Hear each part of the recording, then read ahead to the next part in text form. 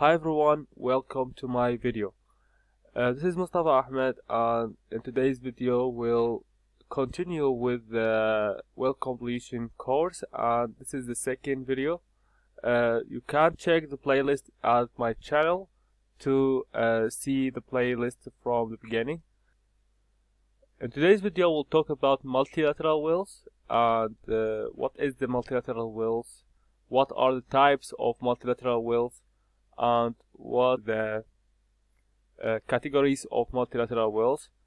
Uh, so in today's video we'll cover these things. After you're done with this video, check my telegram channel.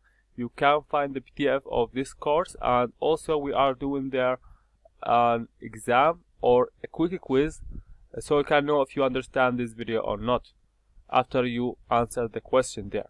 Uh, I'll leave you the link at the description.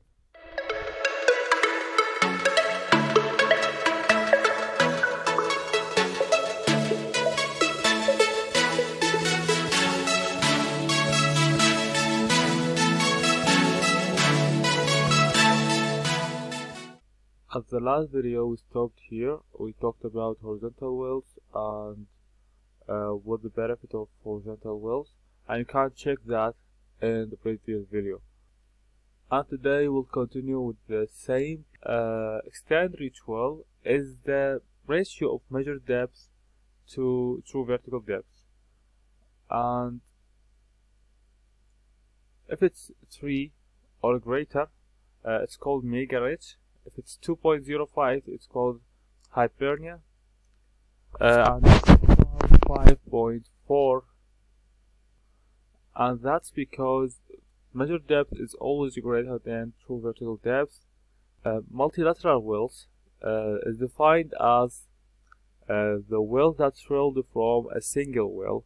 As you can see here in this example this is the vertical well and these multilateral wells are drilled from the same well and uh, it has of course it has advantages and we'll see that in the next page. And here are the types of multilateral wells uh, multi-pronged fraught lateral and vertical hole uh, stacked laterals lateral and horizontal and finally dual opposing laterals. Okay here is an example for multilateral wells. Uh, this is the main well, the main bore that is drilled, and as you can see here, it's cemented and cased. Uh, this is, I think, the third or the second level, uh, and we'll talk about this uh, every in uh, the next page. Uh, this is this is the second well.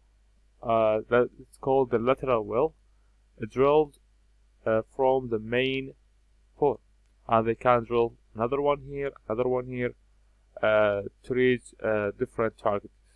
The first multilateral well was drilled in Raja in 1953 and it has nine branches from the main bore. This is the main bore and these are the branches. Increase exposure to, to the base zone by 5.5 times, increase production by 17 times and the capital expenditures are also increased to 1.5 times for I mean for the, the well, but uh, if we compare it with the benefit, uh, the production is increased 17 times and uh, increased exposure to to the base zone by 5.5.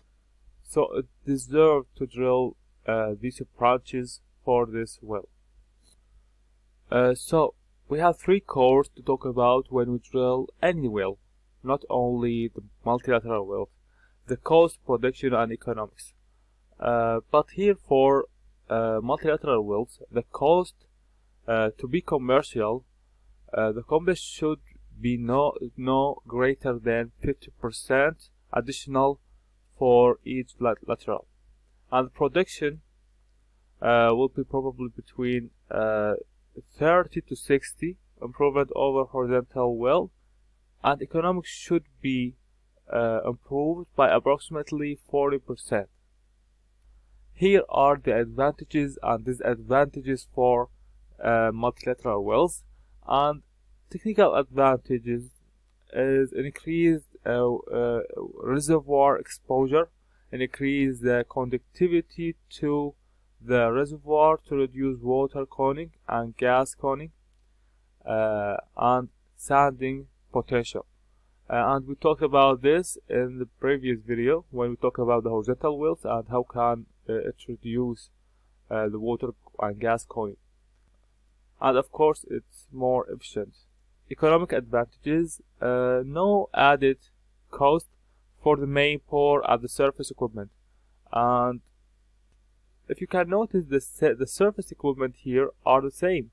And for for each single well and here we will use only the tools to make this well deviated for example. Uh, so the the surface equipment will be the same. No additional slot used on offshore platform smaller platform due to decreased surface equipment the disadvantages of multilateral wells are also technical and economical. Uh, technical disadvantages are well intervention is more complicated. And uh, of course that will be complicated because as you can see here uh, we have to use special tools to drill these branches and special tools has to be used to done this process increase drilling risk uh, problems to control the well while creating additional uh, laterals and increase debris. The economic disadvantage is happened only if we load the main bore and lower laterals. So let's talk about the categories of multilateral wells. Uh, the first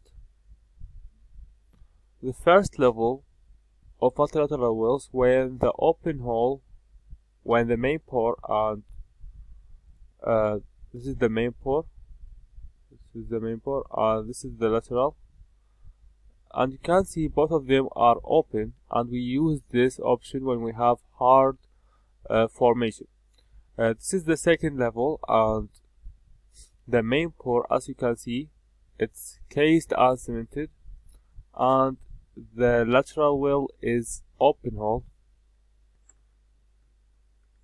The third level when the main bore is cased and cemented, but the lateral is cased without cased without cemented.